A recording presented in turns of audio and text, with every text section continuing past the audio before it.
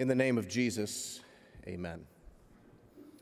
Peter says, Though now for a little while you may have had to suffer grief in various kinds of trials, these have come so that your faith may be proved genuine and may result in praise, glory, and honor of Jesus Christ. Peter writes this to Christians who were undergoing persecution, so they were familiar with suffering, sometimes very intense. And Peter knew in the back of his mind that he would be undergoing it as well, because Jesus told him that he would. And so Peter offers us a perspective on suffering that is way different than what the world tells us, way different sometimes than how we look at it, too. Suffering. Nobody likes it, certainly not pleasant, but there's a a theology that's adopted that sometimes is referred to as a theology of glory. And of the many ways that we could understand or define a theology of glory, perhaps as it relates to suffering, it might go like this that when it comes to suffering, according to the theology of glory, the only good outcome of suffering is the end of it. And so that's where the focus goes. When suffering is happening, the only positive outcome there could be is that it ends.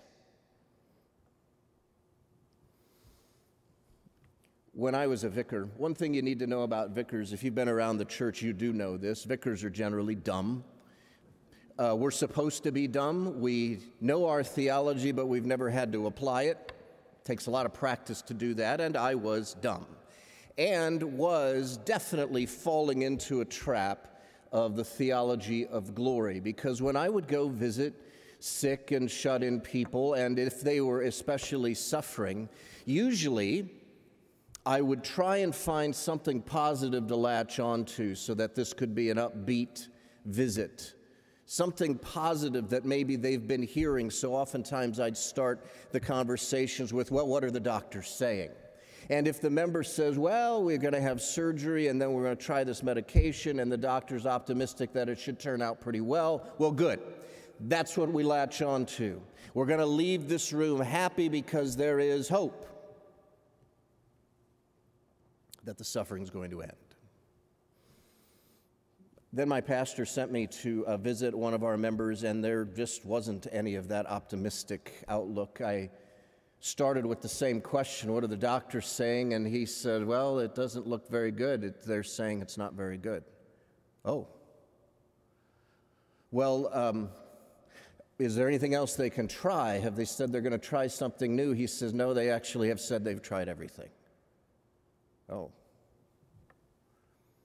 Well, at least how are you feeling today? Is, is today a, an okay day?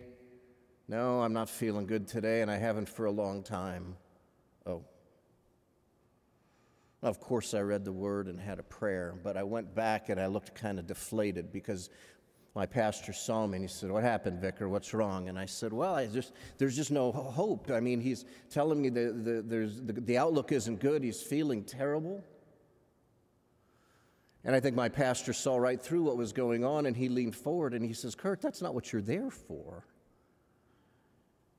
You let the doctors and the medical staff give whatever earthly hope they may or may not have, but you are there to deliver the gospel and the love of God and the promise of the forgiveness of sins and the eternal life that comes through Christ. Duh. That's a theology of the cross. A theology of glory says that the only possible good outcome of suffering is the end of it. Theology of the cross says no. The best possible outcome to suffering is a closer relationship with God. Nobody likes suffering, but it provides us an opportunity. And that's what Peter's talking about here an opportunity that can result in praise and glory and honor of Christ. A theology of the cross during suffering says that suffering affords us a unique opportunity to relate to the sufferings of Christ. At this time in our lives when we are suffering, Perhaps we can grasp better what Christ was going through. And any time we're gazing at the cross, faith is strengthened. There at the cross, we see the, the visible, marvelous display of what God's love looks like. In fact, at the cross, we have the prime example of who God really is. Someone who loved us so much that he sent his son to die for us. And in our times of suffering, maybe that's a unique time for us where we can grasp that better, giving us more hope than anything the world can give. Martin Luther, in his sermon at Coburg on the cross and suffering, also promotes another thing about what Peter's talking about here in 1 Peter. In that, Luther points out that suffering can help free us from complacency. Complacency. So, you and I probably have experienced this when things in life are going swimmingly well. It's easy to forget about God. Suffering can pull us out of that. At my first congregation, we had a member by the name of Pickle. Yes, Pickle. That's what everybody called him. I don't even think I knew his real name. He was just Pickle. He grew up in our church. He'd been around our small community all his life. Pickle was a fringe member of our church. Didn't really come that much. Pickle was too busy. Pickle had other things going on, a heavy social calendar. His kids came to our school. His wife, we'd see her more, but not so much Pickle. Well, Pickle's grandma, who was a pillar of our congregation, she was older and then she got sick, and frankly, she suffered and then she died, and it threw Pickle because they were very close. And so Pickle came into my office and he asked the question that is so often asked in the wake of suffering why? And he points uh, uh, to his grandma and said, This woman was nothing but a faithful servant of Christ all her life. She was here all the time. She raised her family in the church. She had such influence on, on me and even on my kids. Why would God allow this kind of suffering at the end of her life? And I answered, I don't know. But I do know this I do know that she was full of faith, that she knew who her Lord is, and she knew where she was going. And I'll tell you something else, Pickle. That didn't come by accident. It's because she has been here, because she has spent her life in the Word. She has received the sacrament of Christ's body and blood all of her life, so that when the worst time in her life came, she was ready. Hmm, Pickles said. Hmm. Maybe I should go to church more. And then he sat up and he says, You know what? I think I will. I think I'm going to start coming to church more. Now, if I had a nickel for everybody that told me they were going to start going to church more, I'd be wearing better shoes than this. But he did. He actually did. He's showing up He's in church on Sundays, he's in the Word, he's getting involved, he's coming to the sacrament. I just saw Pickle about seven or eight months ago, and how much he had become like his grandma. And so much of this as a result of suffering. Her suffering, his suffering over her suffering. God pulled him out of his complacency. Suffering is difficult. Nobody wants it. It's unpleasant. And it is certainly appropriate to pray for the end of it. But that's not the only possible good outcome. We can be pulled from complacency, and our focus can be put back on God through His Word. And in our sufferings, we have a unique opportunity to grasp the sufferings of Christ, gaze at the cross, marvel at his love for us in his death and resurrection, which gives us the real hope. A hope far greater than any hope the world can give, and which will result in the praise and glory and honor of Jesus Christ. Amen.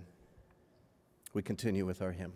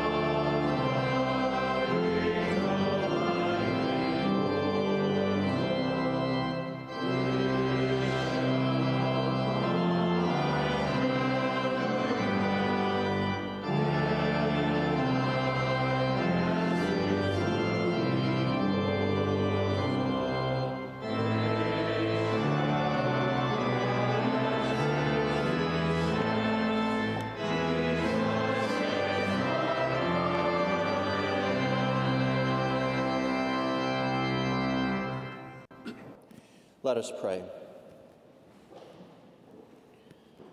Dear Heavenly Father, we thank you for the gift of another day to serve you and worship you. Please bless us and be with us in the many tasks of the day and to give us strength and energy and health for all the things we are called to do. Today we include special petitions for the father of Janessa Doucette, who suffered a stroke and is hospitalized, for the son in law of Professor Ken Harris, who is having surgery today, also for Nicole Guarnero, who is recovering from surgery. Heavenly Father, for these your servants and all who look to you for healing, we pray for wisdom and skill for the doctors and all who attend to them, for healing according to your gracious will, and for strength and for comfort in your love and presence in their time of need. Dear Father, we also lift up events on our campus this weekend. We pray your blessings on the Feed My Starving Children packing effort. Grant safety to all involved and bless the efforts of all, and especially student Isaiah Mudge, who coordinated this event, that many would be moved by the cause of helping the hungry. We pray for our instrumental music ensembles as they have concerts this weekend, that performers would have good health and that many would be blessed by the gift of music. Hear these and all the prayers on our hearts and in our minds as we pray in Jesus' name. Amen. The Lord bless you and keep you. The Lord make his face shine upon you and be gracious unto you. The Lord lift his countenance upon you and give you peace. Amen.